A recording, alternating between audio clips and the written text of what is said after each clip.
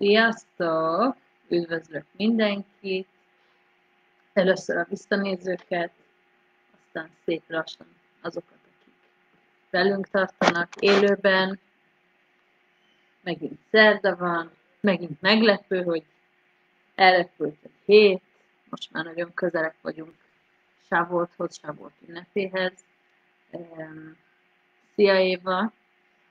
Úgyhogy nagyon érezzük az időt, szia Anna!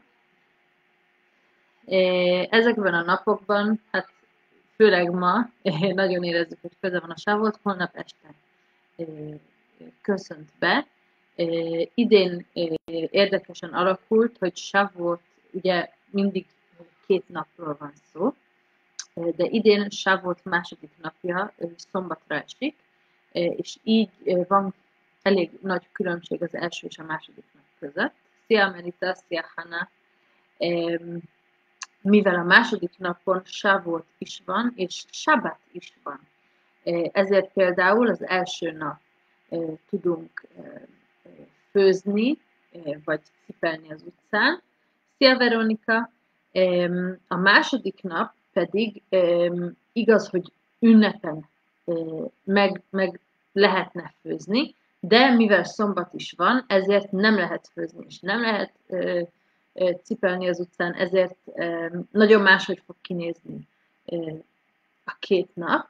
Ö, például ö, sólet is lesz, Seattle, sólet is lesz ö, szombaton, ami általában nem nagyon szoktunk ünnepkor, hanem inkább, ö, inkább szombaton. Úgyhogy a második nap igazából szerintem jobban fog hasonlítani, mint egy tipikus szombatra, mint egy ünnepnapra. Úgyhogy ez, ez egy érdekesség, ami lesz idén.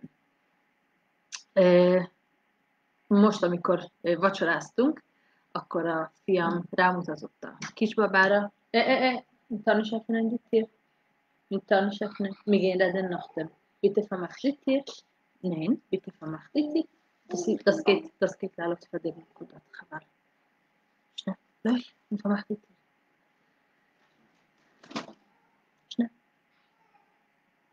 mindegy, hogy hányszor beszéljük meg, nem lehet bejönni, mindig van kifogás, hogy miért jöjjenek be.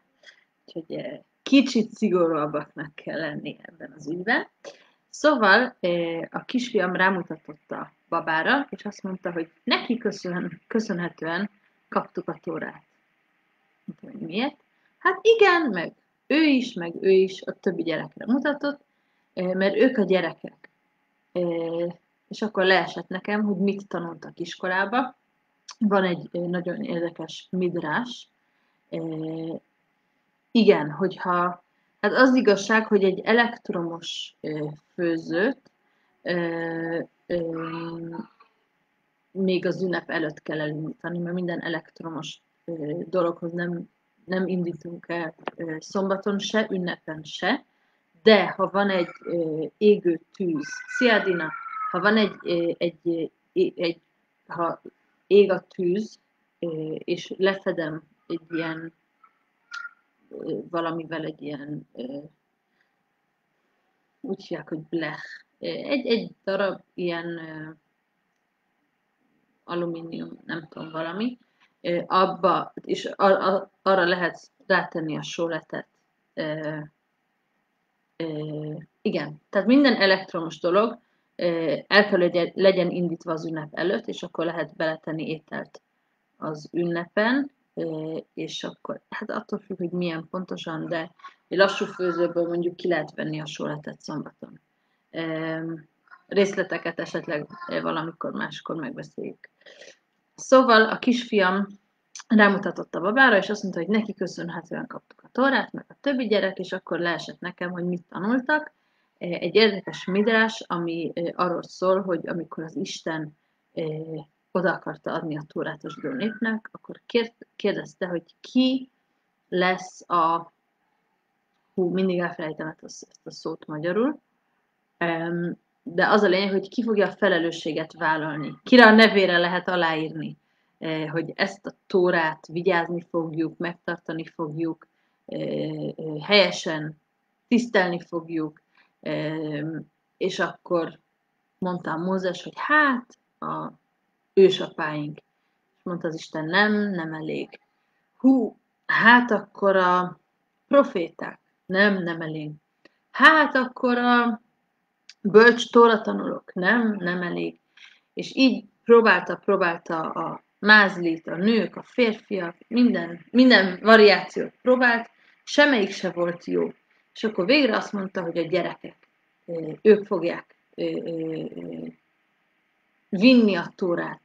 És akkor mondta az Isten, hogy igen, a gyerekek lesznek a Arévim héberül, akik a kezesek, megvan az szó, a kezesek. Kik lesznek a kezesek? És akkor mondta a Mózes, hogy a gyerekek lesznek a kezesek, és mondta az Isten, hogy igen, ez így megfelel. Miért a gyerekek? Mert a gyerekek azok, hogyha őket megtanítjuk, akkor ők tudják továbbadni, majd ha ők nagyok lesznek, ők továbbadják a következő generációnak. Ők majd továbbadják az, a következő generációnak. Tehát a gyerekekben van igazából a zsidó népnek a, a hosszúsága, titka, hogy mi az, ami, ami így összetartotta és fenntartotta a népet ennyi sok éven keresztül, egyetlen nép, aki átment mindenféle időszakokon, történelembe, és még mindig ugyanaz a nép maradt, és nem, nem lett belőle valamilyen más nép, ez csak a zsidó nép. Az egyik titka az, hogy ez a befektetés a gyerekek, a gyerekekbe, hogy tudjuk, hogy ők azok, akikre bízni lehet ezt a drága dolgot, a tórát, és ők majd viszik tovább, ők lesznek a kezesek, ők adják tovább a következő generációnak. Mit is ünneplünk ezen az ünnepen? Mindenki tudja, hogy Sáv volt ez a torálás ünnepe, de mielőtt beszélnék arról, hogy a Sáv volt a torálás ünnepe, a Tórában nem szerepel ilyen. Nincs, nem vagyunk megparancsolva a tóradást megünnepelni, hanem kicsit más, meg vagyunk ünnepelve, megünnepelni azt, hogy Peszach óta számoljuk a napokat, 49 nap, 7 héten keresztül, 7 heten keresztül, és az 50. nap lesz egy ünnep. Ez olyan, mintha lett volna valami Pesach óta, hogy majd Savotkor befejezzük. Pesachkor elkezdtük, Savotkor befejezzük. És az egyik neve ennek az ünnepnek az szeret, megállni, megállítani.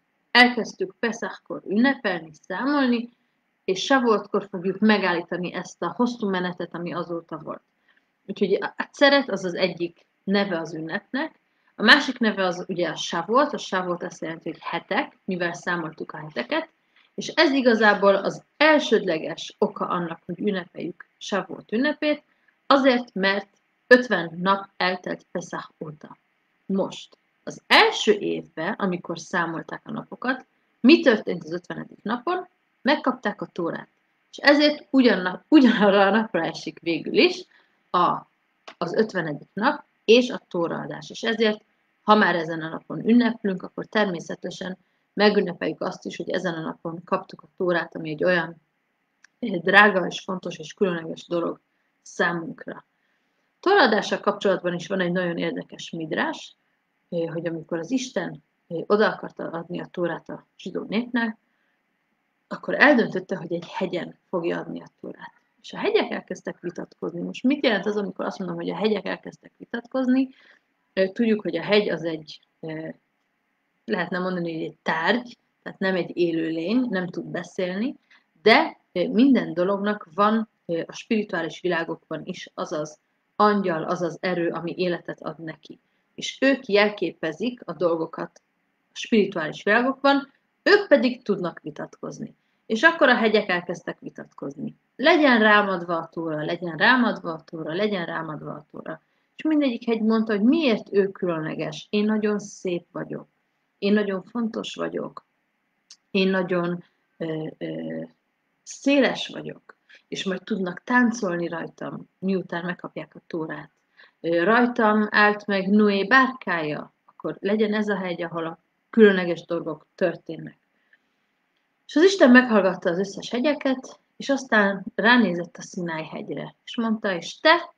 Hát, én egy egyszerű hegy vagyok, Nem vagyok különleges, nem vagyok nagy, nem vagyok széles, nem vagyok fontos, nem vagyok különlegesen magas, csak egy, egy egyszerű hegy.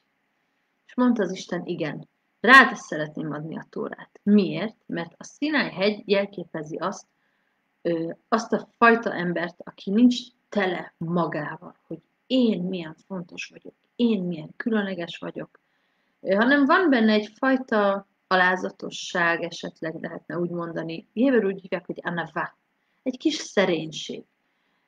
És azt mondta az Isten, hogy igen, szeretne, ha a Tórát egy ilyen, hegye, egy ilyen hegyen adni, ahol nem a egóról van szó, hanem egy kis szerénység.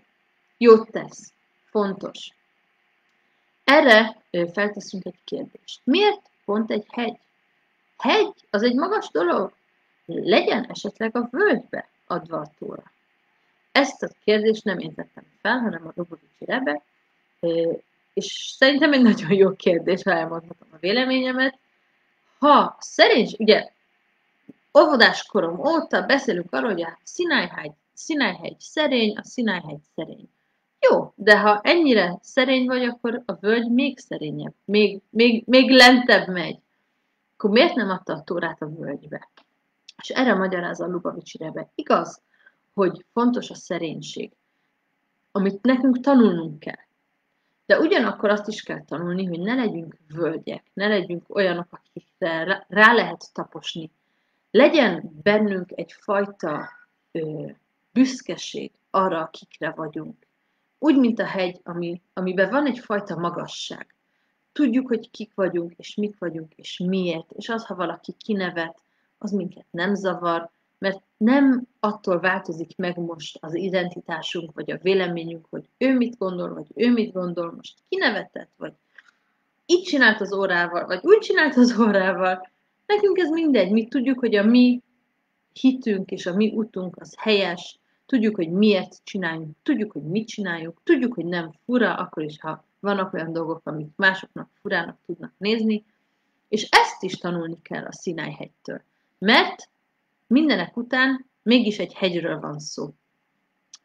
Ez egy nagyon, az egyik üzenet, ami van ebből az ünnepből, rengeteg üzenet van minden ünnepből, és mindig próbálom összeszedni a gondolatokat, úgyhogy ez, ez az egyik.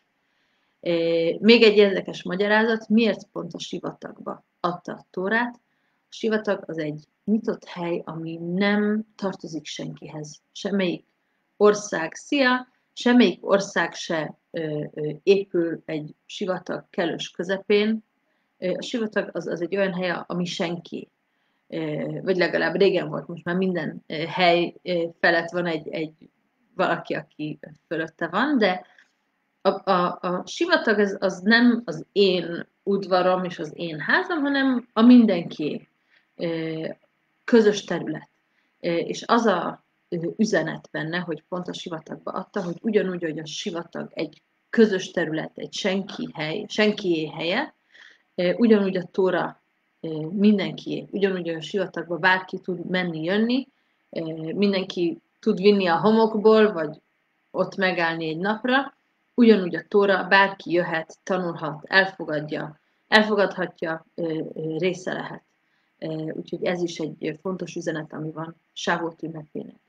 Szóval említettük az első nevet az ünnepnek, az átszeret, megállás. A második neve volt Sávuot, a hetek ünnepe. Szielmese. A harmadik, az is kapcsolódik ehhez, az a Zman Matan Torateinu. Ez kicsit hosszabb, de azt jelenti, hogy az idő, amikor megkaptuk a Tórát, a Tóraadás ideje, vagy a Tóraadás ünnepe. Chag Matan Torah. Igen, vagy Chag Matan Torah, vagy Zman Matan Torateinu, mind a kettő helyes. A Tóraadás ünnepe, a Tóraadás ideje. Ez is kapcsolódik ahhoz, amit magyaráztunk, hogy ezen a napon, ezen a dátumon kaptuk a Tórát. A negyedik neve az ünnepnek az Chag HaBikurim. A Bikurim az két dolgot is jelent. Először is a Bikurim az egy ajándék, amit szoktak hozni a szentélybe. Mindenki, akinek volt földje, ami nagyjából mindenki volt, mindig figyelték a, a hét különleges termést, ami Izraelben különleges, a szőlő, a gránátalma, a füge, amikor elkezdtek teremni a fán, akkor az volt a szabály, hogy mindig az első az az Isteni. Így tudjuk megmutatni azt, hogy hálásak vagyunk az Istennek azért, hogy a termések jól teremtek idén. És akkor minden földes, Regina figyelte a fákat, a termést, és mindig, amikor elkezdett az első nőni, nem a legszebb, hanem az első, és ezek el, elős valamikor tanultam valamilyen magyarázatot, hogy milyen, miért pont az első és nem a legszebb, de most így nem emlékszem, de az a lényeg, hogy az első. Az első körül rá, rá, rátettek egy, egy piros valamilyen cérnát vagy zsinort, és akkor, amikor nagy lett, és már volt több gyümölcs a fán, még mindig ott volt az a piros valami, amit rákötöttek, és akkor úgy tudták, hogy az az első, és akkor ezt elvitték magukkal, amikor legközelebb mentek a szentébe, és odahozták, mint ajándék az Istennek. Ezt a bikurimot ugye mindig inkább nyáron szoktak érettek lenni a dolgok. Savottól kezdve szokták hozni a szentébe. De, ami érdekes, nem emiatt hívják az ünnepet Haghabikurimnak. Annak ellenére, hogy ez is igaz, az igazi oka annak, hogy ezt az ünnepet Hagabikurimnak hívják, az az, hogy az ünnepen volt egy ünnepi áldozat, ami két kenyérből állt. Amikor azt mondom, hogy kenyér, akkor igazából pászkának is lehet hívni, mert a szentében nem lehetett hozni semmi kovászos kenyeret, ott Pesach volt egész év alatt, és volt egy olyan áldozat, ami két kenyérből állt, és ez az áldozat neve is valahogy bikurim, és, és ezért hívják az ünnepet Hagabikurimnak. Az utolsó neve az ünnepnek, az Haghakacir, az aratás ünnepe. Miért? Mert ebben az időben volt az aratás. Most ebben kapcsolatban van egy nagyon érdekes történet, és az pedig Ruth története. És ez kapcsolódik hozzánk, nők, mert a Ruth nő volt. Úgyhogy ha valaki keresi, hogy hol vannak a nők a zsidóságban, nem kell aggódni, ez egy nagyon jó példa, van egy egész könyv egy nőről, akit úgy hívták, hogy Ruth, és mindenki tanulja ezt a könyvet Savolt este. Savolt este egyébként férfiak szegények, ébren vannak egész éjszaka, tanulnak Tórát. Hála Istennek, hogy tőlünk, nőktől nem várják ezt el, mert Savolt napján, amikor megkaptak a Tórát, az eredeti Savoltkor, elaludtak. Elaludtak, mert azt hitték, hogy ez a legjobb készülődés a tóraadásra, hogyha aludnak, mert amikor az ember alszik, akkor a lelkének egy kis része felmegy. És mondták, hogy így tudunk a legközelebb jutni az Istenhez. De sajnos ez a módszer nem, nem vált be, mert amikor reggel lejött az Isten a hegyre, és azt hitte, hogy ott fognak várni rá, ahogy illik, nem volt ott senki fel kellett őket ébreszteni a sok sofárfújással, meg döröngéssel, és ebből azt tanuljuk, hogy, hogy a legjobb módszer kapcsolódni az Istenhez, az nem elmenekülni a világtól, hanem itt a világon belül találni a módszert, behozni az Istent a mindennapi életünkbe, nem elrohanni az életünktől, és keresni azt a helyet, ahol nincsenek gondjaink, hanem a, az életünkön belül, bele az életünkbe kell hozni az Isten. És ezért minden évben a férfiak ébren vannak egész éjszaka, tanulnak megjavítani azt a téves hozzáállást. A nőktől ugye azért nem szokták elvárni ezeket a dolgokat, mert a nők fizikailag nehezebben bírnának egy ilyet. Reggel foglalkozni kell a gyerekekkel, nem lehetünk fáradtak, úgyhogy ez, ez a férfiaknak a része. Most a Ruth könyve az az egyik dolog, amit olvasunk Savoltkor, és ez egy nagyon különleges nőről szól, akit úgy hívtak, hogy Ruth. Idén nagyobb lányokat tanítok az iskolába, úgyhogy jobban bele kellett merülnöm a dolgoknak a részletébe, úgyhogy én is tanultam új dolgokat ebből, úgyhogy biztos lesz olyan, amit tavaly nem mondtam, mert olyan, amit idén fedeztem fel először.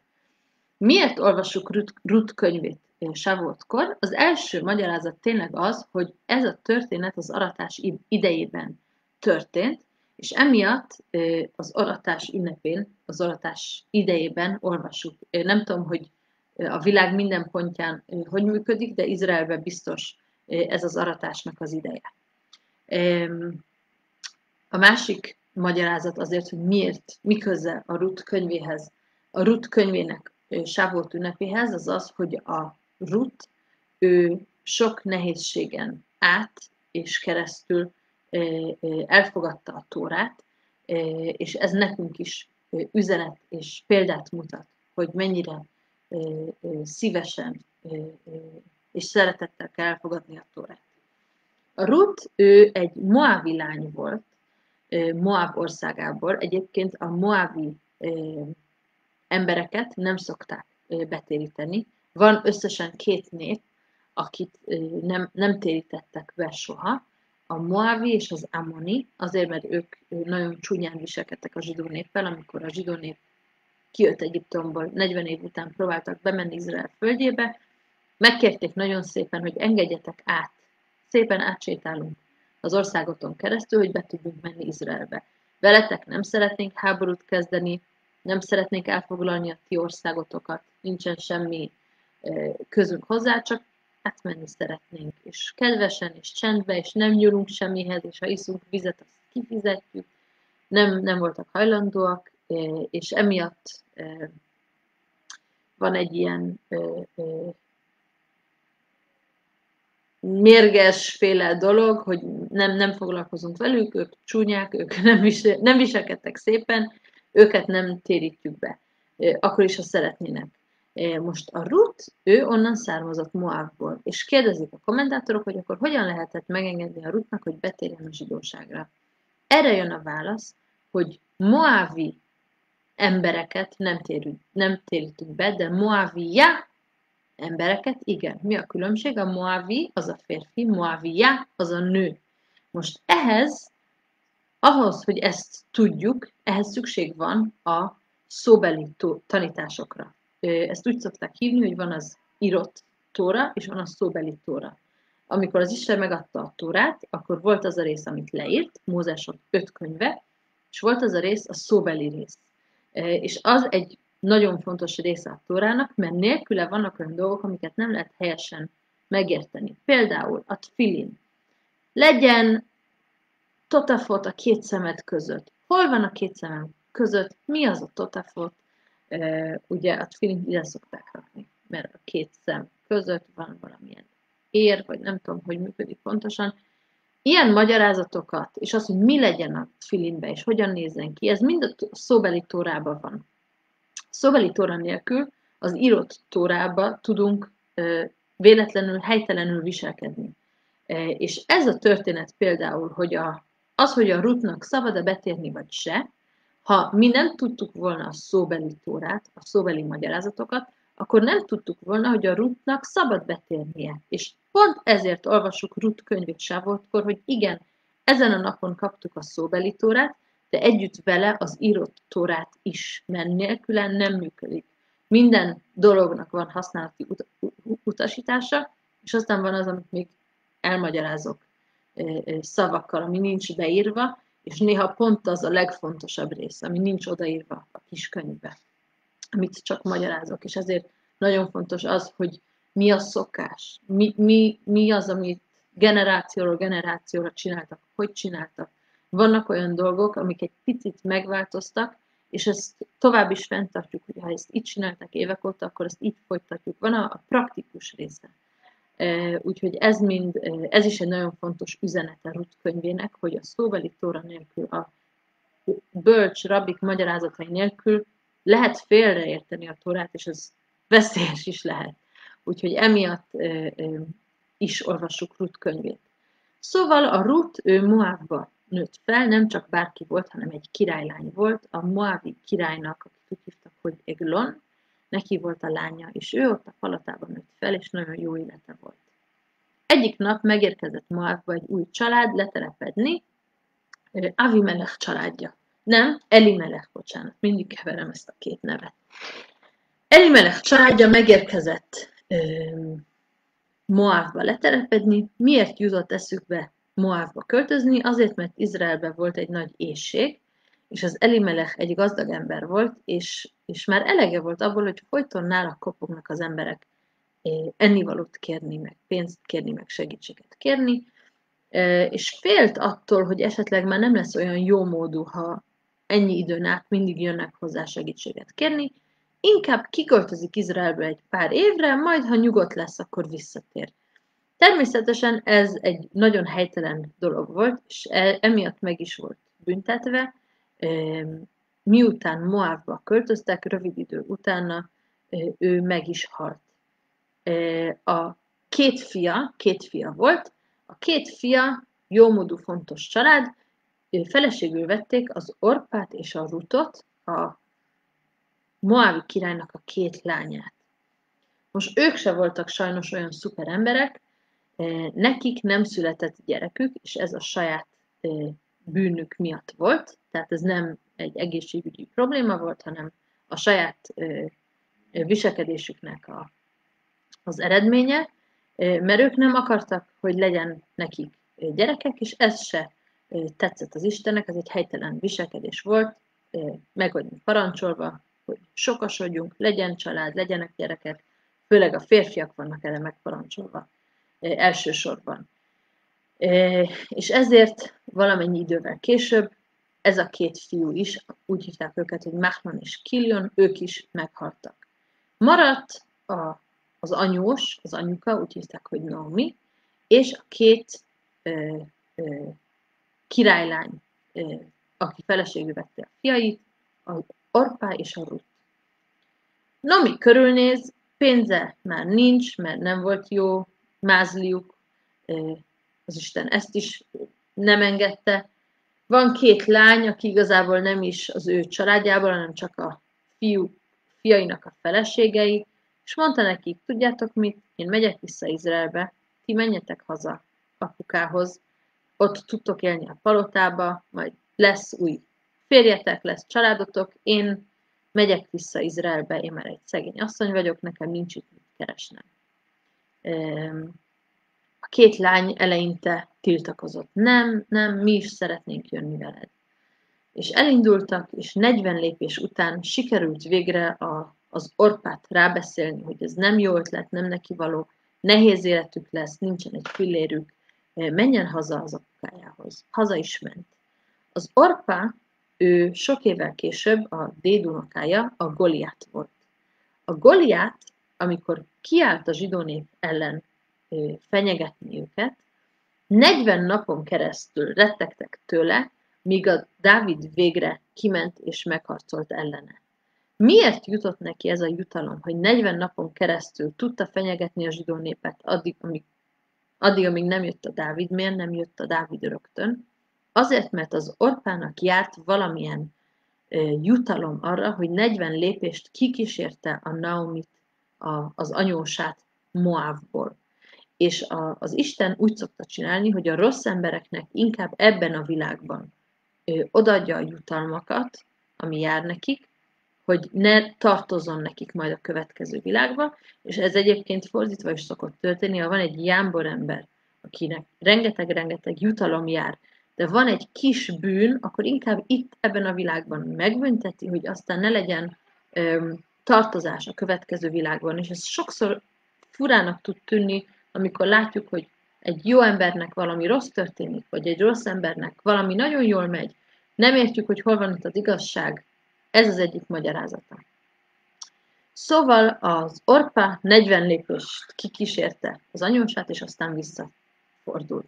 Mondta a Nomi a másik lánynak, Rutnak is, te is fordulj vissza, mit keresel velem? Nehéz élet lesz. Fel, felesleges. Mondta a Rut, nem. Ahova te mész, én fogok menni. Ahol te alszol, én fogok aludni. Amit te eszel, én fogok enni. A te Istened az én Istenem. És elindultak Izraelbe, a Nomi megértette, hogy a Rutot nem lehet lebeszélni erről, Megérkeztek Izraelbe, és pont abban az időben, amikor a Boáz, aki a zsidó vezetője volt abban az idejében, időben, neki a felesége elhunyt, és pont a temetése volt. Az emberek nagyon nehezen ismertek rá Nomira, aki már szegény nőként tért vissza, régen nagyon szalmája.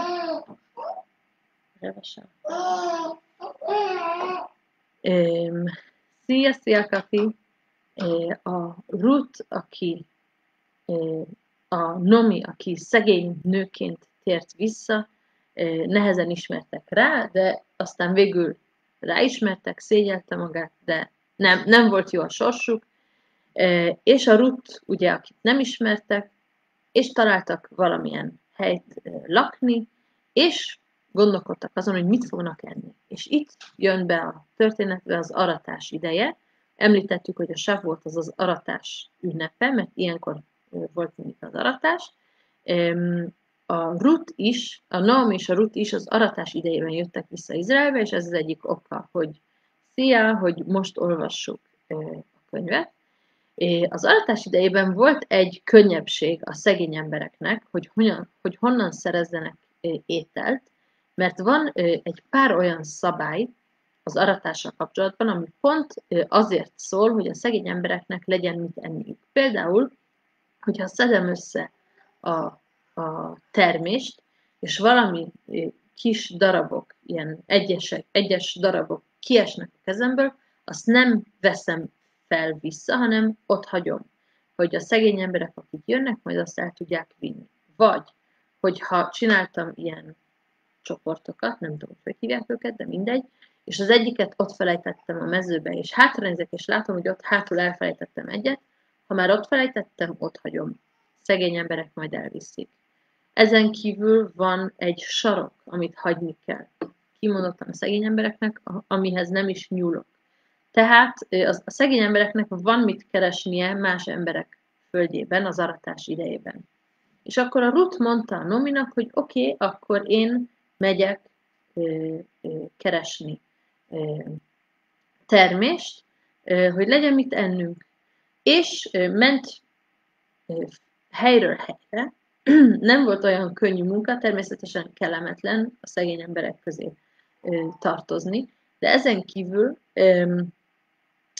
az volt a baj, hogy ugye sokan jöttek mindenhova, és kicsit ki kellett harcolni. És ez a Rutnak, mint egy királylánynak nagyon nehéz volt.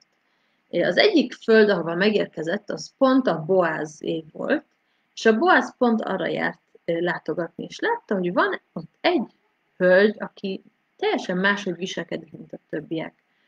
Ilyen nagyon, ugye, úriasan, királylányosan.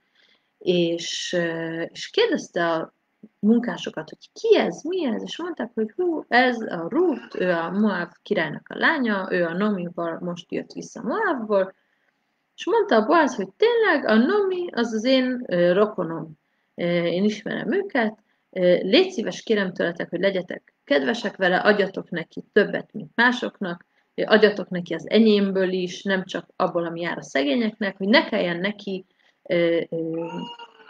keresgélnie sok helyen. És ezért kapott egy nagyobb adagot, és akkor elő is tudta készíteni a főzéshez, és hazajött, és kérdezi a Nomi, hogy hogy sikerült neked a mai napon e, ilyen jól, hogy ilyen sokat szereztél, és, és ilyen, ilyen jó állapotban van, és mesélte neki a Nomi, oké, okay, sír a baba. Lehet, hogy abba kell hagyni. Jó, meglátjuk, hogy sikerül a férjemnek levigasztalnia, e, és, e, és e, nem tudok koncentrálni, megpróbálom hallgatni, hogy mi lesz. És, és amikor hallotta a Nomi, hogy a, hogy a Boaz segített a Rutnak, hogy kinézte a Rutot először is, hogy észrevette, akkor mondta a hogy hát, ha ez egy jó ötlet lenne, egy siduch, egy pár, Boaz házasodjon Ruttal. És, és mondta a Rutnak, hogy menjen, menjen, menjen csak a Boázhoz, és ajánl neki ezt az ötletet. A Ruth nem akart kimenni, köszi-köszi, úgy tűnik, hogy most lenyugodott, úgyhogy van van még egy pár percünk. A Ruth nem szeretett volna este kimenni úgy, hogy fel van szépen öltözve, nehogy egy olyan nőnek nézzék, aki, aki próbál férfiakat találni, és ezért nem öltözött fel szépen, hanem csak amikor odaérkezett, akkor öltözött szépen, és bement a Boázhoz, és ajánlotta neki ezt az ötletet. És mondta a Boáz, hogy egyetért ezzel az ötlettel, és most rögtön kerestek, kimentek, kerestek valakit, aki összetudta őket adni, aznap este, és egyes kommentátorok szerint a következő napra, a következő nap már elhunyt a Boáz. De az volt a legfontosabb része a történetnek, hogy a Ruth már terhes volt. A Ruthnak született egy fia, akit úgy hívtak, hogy Oved, az Oved született, az Ovednek született egy fia, akit úgy hívtak, hogy Isai, és a Isai volt Dávid apja. Tehát, ha visszagondolunk bele, a Goliát és a Dávid család, voltak, unokatestvérek voltak, a Dávid dédnagymamája és a Goliát dédnagymamája testvérek voltak.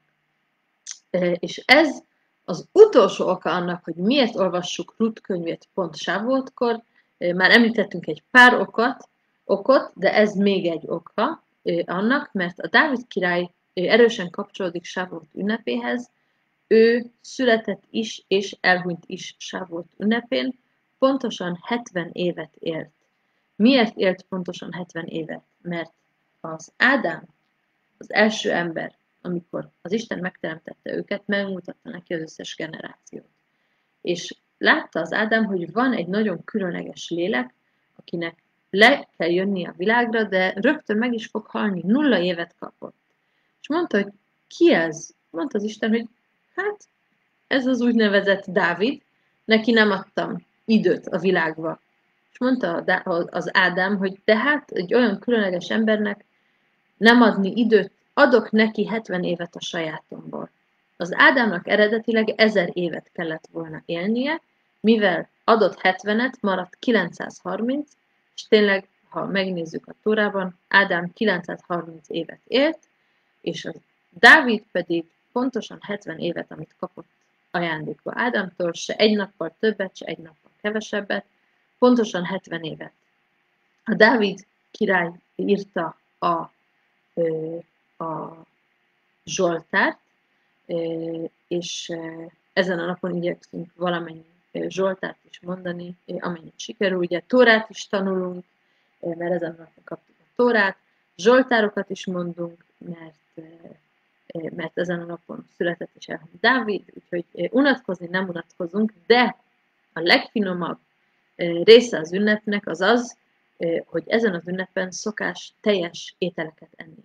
Na, ezt a szokást nagyon szuperül tudjuk betartani, mert imádjuk, főleg, hogy minden más ünnepen mindig húsos ebéd meg vacsora van, azért, mert a, a tórában a hús és a bor számít az ünnepségnek. ahhoz, hogy, hogy ünnepjes legyen, kell, hogy legyen bor és hús, de sávotkor van egy különleges hagyomány, hogy teljes ételeket eszünk. Most, az, hogy bor és hús kell, hogy legyen, az ugyanúgy fennmarad, és emiatt eh, figyelni kell arra, hogy ha eltelt egy óra, vagy több, miután megettük a teljes finomságokat, illik valami húsost enni, akkor is, ha már nem, nagyon, nem vagyunk nagyon éhesek, mert megebédeltünk.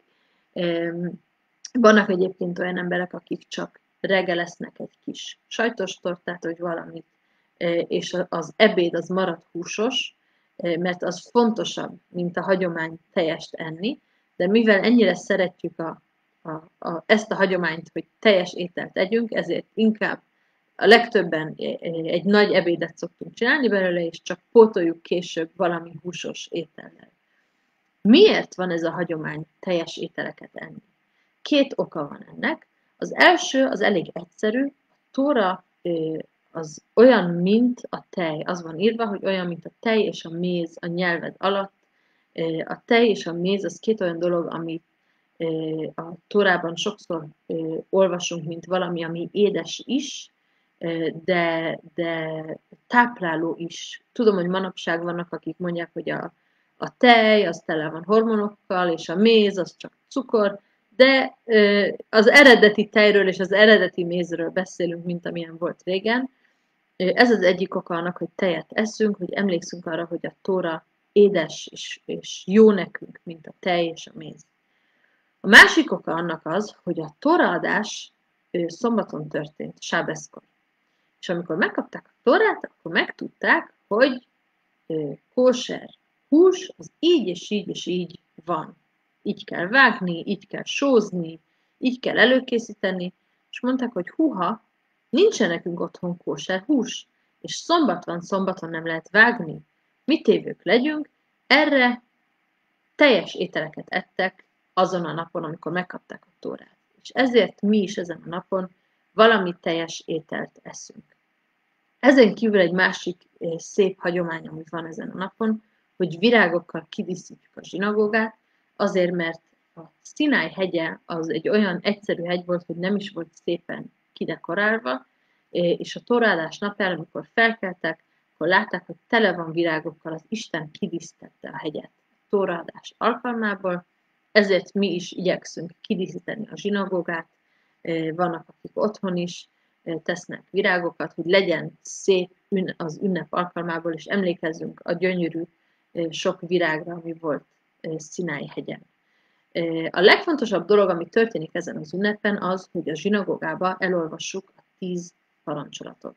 A toraadásnál nem hallották meg az összes 613 parancsolatot, hanem a tíz, a tízet, ami van a két kőtáblán, ezek a legkritikusabb, kritikusabb legfontosabb, legfontosabbak, és mivel minden évben Savot napján megerősödik újból ez a tóraadás, spirituális szinten az Isten újból adja a tórát, ezért mi is mindent megteszünk azért, hogy ott legyünk, ott legyünk a zsinagógába, amikor elolvas, elolvassák a tíz parancsolatot, mert így tudjuk mutatni a jelenlétünket ezen az újraadáson.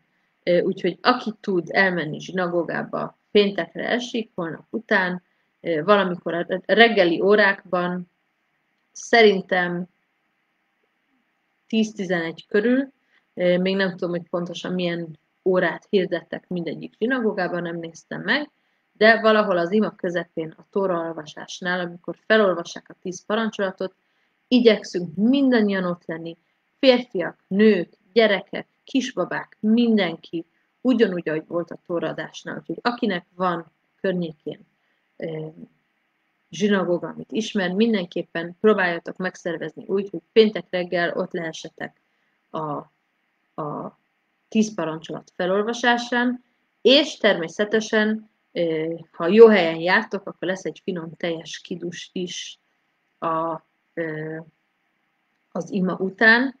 Tudom, hogy az anyukám például nagyon készül, a vasváriba lesz sok-sok finomság, de gondolom máshol is, úgyhogy mindenképpen tegyetek meg mindent azért, hogy elmenjetek, ez egy nagyon-nagyon fontos dolog, és azt mondhatnám, hogy a legfontosabb dolog ezen a napon nincsen más parancsolat, amit be kell tartani ezen az ünnepen. Még egy érdekes dolog, hogyha még bírjátok, még bírtok koncentrálni, meséltem a diákjaimnak, hogy minden ünnepet külföldön, tehát Izrael, bocsánat, Izraelen kívül két napon keresztül ünneplünk azért, mert régen nem tudták, hogy melyik nap volt az új hold. 29 nap után, vagy 30 nap után. És ezért mindig volt egy ilyen kérdés, hogy ma vagy holnap. És akkor beiktatták a bölcsek, hogy Izraelen kívül, ahol több idő volt, míg eljutott a hír, legyen mindig két nap ünnep. És akkor majd később eljön a hír, hogy, hogy végül is melyik nap volt. És akkor onnan tudják tovább számolni helyesen. Most az egyik diák feltett egy nagyon jó kérdést. Minden ünnepnél van ez a kérdés, hogy ma vagy holnap, ma vagy tegnap. De Sávolt ünnepén sohasem volt ez a kérdés, mert mondjuk egy hónappal később megkapták a hírt, hogy mikor volt az igazi Pesztach, az első nap vagy a második nap, akkor onnantól tudnak számolni 50 napot, hogy mikor van Sávolt, és nincsen kérdés, hogy a Sávolt ezen a napon volt, vagy a másik napon volt. Erre az a válasz, hogy a bölcsek, amikor beiktatták ezt, hogy két napot ünnepeljünk, azt mondták, hogy igaz, hogy van egy olyan ünnep, ahol nincsen ez a probléma, Sávolt, de mivel beiktattak egy új szabályt, ezért legyen ugyanaz az összes ünnep, hogy ne csináljunk különbséget egy ünnep és a másik ünnep között, és végül is lett a Sávoltnak egy előnye. Több ünnepnél mindig kérdés, hogy ma vagy holnap. Lehet, hogy az első nap volt az igazi, lehet, hogy a második nap volt az igazi. A mind a kettő az igazi. Az első az, mert tutira tudjuk, hogy ez az első nap. A második nap, mert tutira tudjuk, hogy a bölcsek kérték, hogy megünnepeljük a második napot is, akkor is, ha nem ez az igazi nap. És így történt egy érdekes dolog, hogy végül is a Sávolt lett előnybe, hogy mind a két nap tutira ünnepelünk. Úgyhogy kívánok mindenkinek egy nagyon boldog Sávoltot, és jövő héten beszélünk tovább az élet ciklusáról, párkeresésről, zsidó módra. Várlak szeretettel jövő héten is. Köszönöm, hogy itt voltatok. Jó éjszakát!